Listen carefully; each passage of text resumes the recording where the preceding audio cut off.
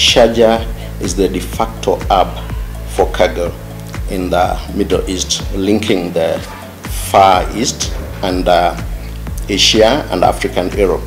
Uh, it has a busy uh, air to sea business or sea to air business. We have to go where the cargo hubs are. Despite the effects of uh, coronavirus, Kenya Airways as an airline has been able to go into a new destination, which is a source of uh, cargo from UAE, uh, where all the merchants uh, actually get their shipments from and normally transport them by road.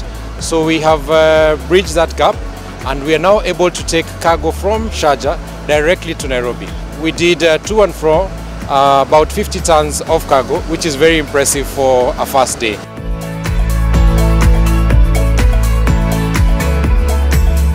We have a full freight going into Sharjah and we'll have a full freight coming from Sharjah into Kenya and into Africa.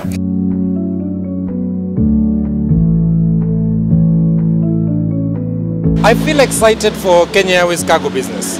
I feel that Kenya Airways cargo business will grow in leaps and bounds. Uh, and this is just from the effects of uh, COVID uh, that we've been able to take, uh, uh, make something good out of uh, a bad situation. Carrying cargo uh, is, is uh, one of the most exciting things you do because uh, you are able to uh, fly, enjoy the flying. So some of us do love the flying. So not as a director of flight operations, but as a captain.